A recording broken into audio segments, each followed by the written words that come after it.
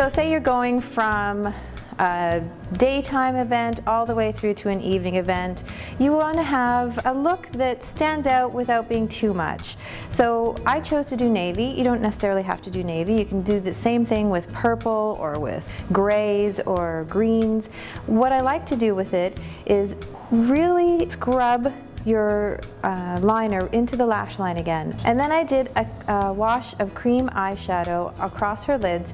And I did that so that there would be something for the um, navy eyeshadow to grab onto and last longer and also diffuse it a bit. So you get a gradation of colors. So closer to the lash line, it's a little bit more dense and then it fades a bit. And then over top of that, I did another soft wash of Honeybell eyeshadow, which is kind of a pale peachy pink. I chose to stay more neutral with her lips, just give a lot of lush shine to them and amped up her cheeks a tiny bit again with some more rosy pink.